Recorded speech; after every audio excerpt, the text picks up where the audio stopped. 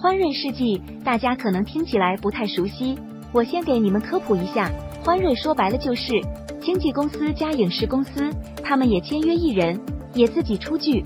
本以为欢瑞会从自己名下的艺人中挑选一位接替杨紫的一姐位置，结果没想到欢瑞将李小冉签了过来。对李小冉和欢瑞来说，这本都是一件可喜可贺的好事。消息一出，也确实是引起了网友的热议，但大部分网友还是表示了他们的不解。欢瑞喜欢签一些年轻的偶像派演员，而且欢瑞很少会出一些都市生活剧，大部分都是古装剧。虽然李小冉是实力派演员，但是跟欢瑞的风格不太符合。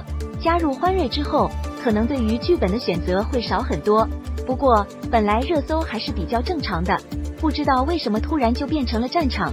杨紫、任嘉伦、程毅、袁冰妍四家的粉丝在热搜下对骂。也不知道是那方起的头，不过可以看出来，好像是程毅的粉丝与其他三家对骂，好像程毅和杨紫的粉丝骂的最为厉害。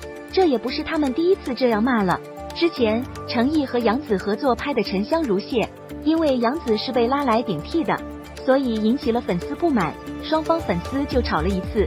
至于任嘉伦，自然是因为争一哥，所以双方的粉丝互看不顺眼，毕竟一山不容二虎嘛。